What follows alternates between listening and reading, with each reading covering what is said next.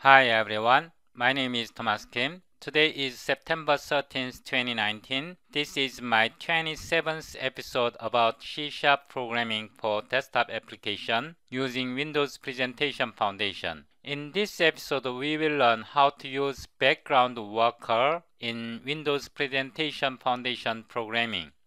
For more information about background worker class, please double click this link. We will use this background worker class in this episode. Without further ado, let's get started. Start Visual Studio 2019. Go to File, New, Project, select Language, C Sharp, Platform, Windows, Project Type, Desktop. Select Windows Presentation Foundation Application .NET Framework, this template. Click Next. Project name will be Background Worker. Solution name will be Background Worker Solution. I will select .NET Framework 4.6. Click Create. Go to View select toolbox and click this pin drag text box and we will rename it text box arg1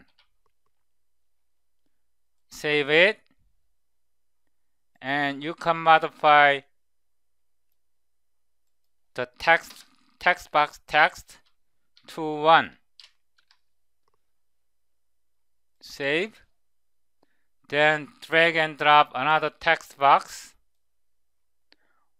and rename the text box ARG2.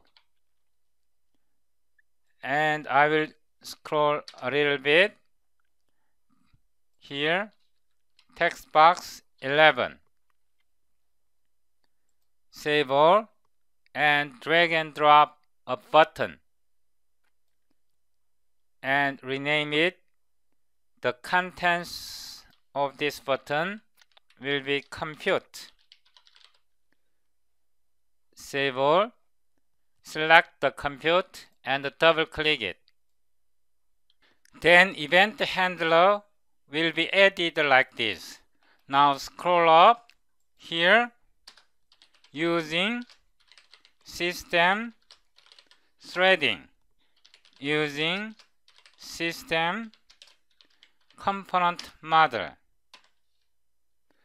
Now scroll down here background worker background worker new background worker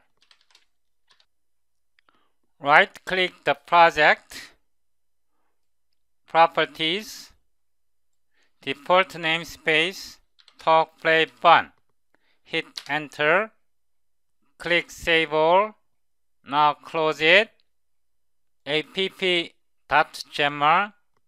modify it. Talk play fun. The namespace also here. Now save it. Double click app.xaml modify the namespace to talk play fun. Also main.xml, scroll up, modify the namespace to talk play fun. Also here to namespace talk play fun. Now save all. Main windows.xml.cs change the namespace to talk play fun. Then here private. Now Control F5. Now it works like this.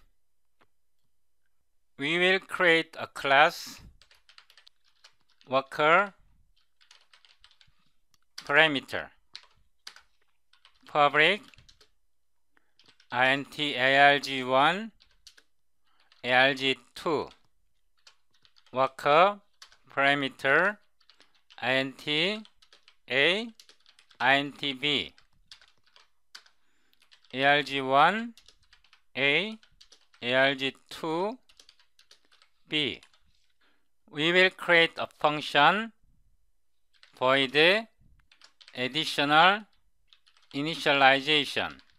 Here private void worker do work object sender do work event arg e we will add another function private void worker completed. Object sender run worker completed event arge in this function background sorry I have to copy cut and paste it here. Background worker do work. New do work event handler worker do work. Background worker run worker completed. New run worker completed event handler worker completed now copy this function. Copy and paste it here. In button click worker parameter args new worker parameter arg1 arg2 int arg1 int parse. Text box arg1 text.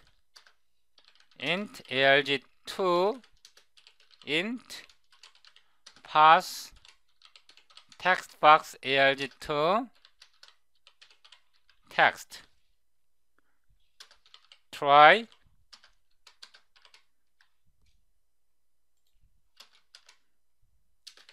Catch. Exception ex message box. Show. Ex message. Background worker. Run worker async.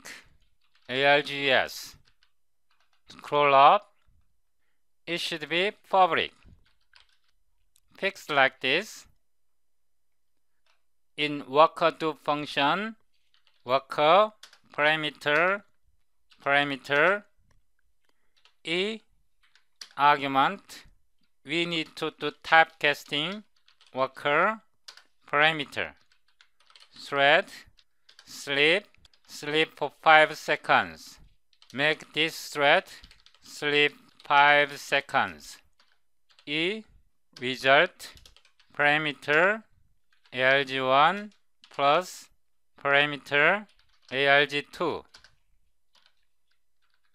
now here message box show e result to string computed result.